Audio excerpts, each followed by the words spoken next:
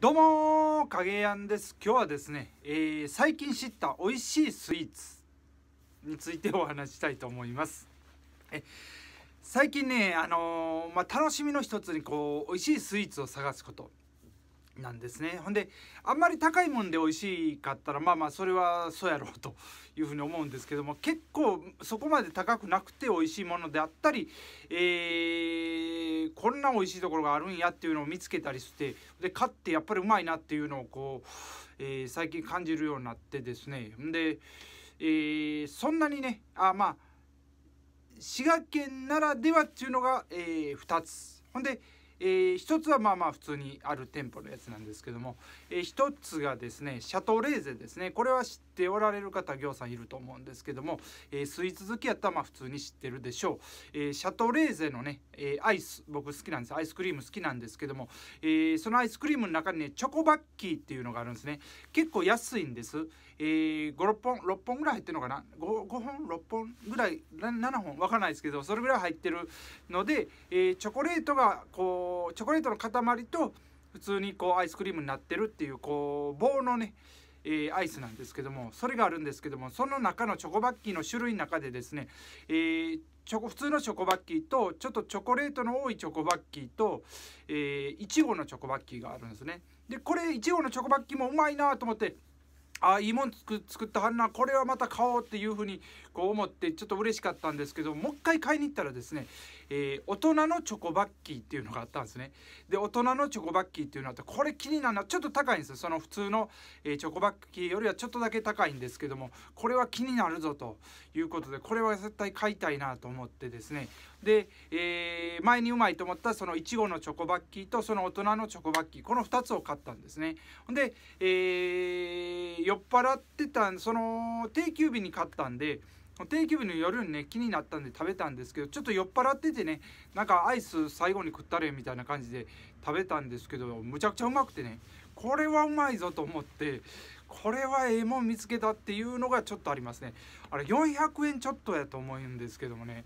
かなりうまいく感じましたそこお酒飲んでるのが関係あるのかないのか分かんないですけどむちゃくちゃうまく感じました。えっとねキャラメル味の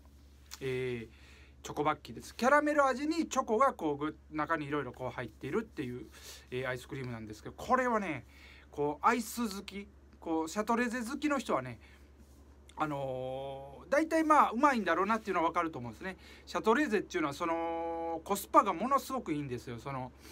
うん、値段は安いのにこのクオリティみたいな感じで。だから市販でスーパーで売ってるアイスをこう56本のやつを買うのと値段的にそんな変わらないのに、えー、シャトレーゼのもう美味しさが全然違うと思うんですね。でちょっとそのスーパーやとすぐ近くにあるんでシャトレーゼやとちょっとそこもシャトレーゼのお店まで行かなあかんっていうところはあるんですけども、えー、買いに行く価値があるなというふうに思います。で一つがそのえー、シャトレーゼのね、えー、アイスクリームで大人のチョコバッキーですね。これはうまいなと思った。でもう一つがですねこれは散髪屋さん僕が行ってる散髪屋さんの、えー、マスターがね、えに教えていただいたものなんですけどもそのマスターがすごくスイーツ好きでいろいろこう知ってはるというかよう食べはるんでねこう、まあ、間違いないだろうと思ったのがいちご大福ですね。いちご大福。えー、谷口長栄堂のいちご大福ですね。これがね、えー、石部町ですね。あの石部町にある、えー、谷口長栄堂のいちご大福。だこれはいちごがねもういちご自体がうまいですねその。で小ぶりのねちょっとそんな大きく大きい大福じゃなくてちょっと小さめの小ぶりの大福でですね、えー、4個入りと6個入りが売ってておられてですね僕6個入り買ってですね6個入りで960円かな。で、えー、もうマスターからねその散髪屋のマスターからこういちご大福それ食った時にあこれはうまいなと思っていちご大福はこれやなって思ってたまに買いに行きはるそうなんですけども。で、えー、食べたらもうこれはうまいと。ほんで家族も絶賛ですねこれはうまいっていうことでねで当日に買って当日が賞味期限なんで、えー、当日に食べる買ってすぐ食べるっていうのがこうそのそのいちご大福はそうした方がいいということですね。それとその、えー、谷口長栄堂のいちご大福に関してはですねその売り切れてしまうことが結構あるらしいんですね。で売り切れてしまうことがあるんでですねその早めに買いに行くかこうなんかしないとですねその手に入らない可能性ある。いつでも行ったら絶対あるとは限らないということです。売り切れたらもうその時点で終わりと。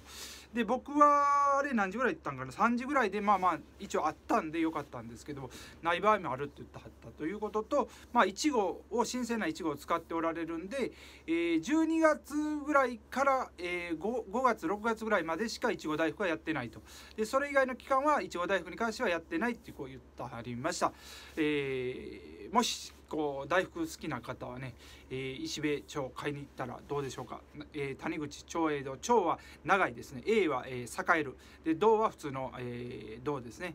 なんか谷口町営道というところがあります。ほんでこれは僕は、えー、高速道路で行ったんですけども、えー、高速道路にもちょっとびっくりしたんですけども、えー、瀬田からこう乗ってですねほんで立東で降りようと思ったらですね立東出口から1キロぐらい先に立東、えー、湖南っていうところがあるんですね。でそこで降りるともう石部に近いとこでもうすぐに行けるということであこんな出入り口ができてんやと思ってちょっと、えー、びっくりしましたけどもね。ということで、えー、2つ目が、えー、谷口町江戸のいちご大福とで3つ目がですねこれは前から一応知ってたんですけど最近ということではないんですけども僕のお店で出してるクッキーをね作っておられるお店ノチェロさんです。ノチェロっていうお店ノチェロさんですね、えー、瀬田にある、えー、クッキー屋さんなんですけどもそこのねこうプチケーキクッキーをお客さんのクッキーを頼んでそのついでにねプチケーキも買うんです。でそのプチケーキがもう普通にうまいというところでこれはもうほんで値段も100円ぐらいなんでね、えー、ついこう3つ4つ4つぐらいかな買ってしまうということがあります。ということでですね今日はね最近知った、えー、美味しいスイーツについてお話しさせていただきました。では今日もよっしゃでいきましょう。どうもありがとうございます。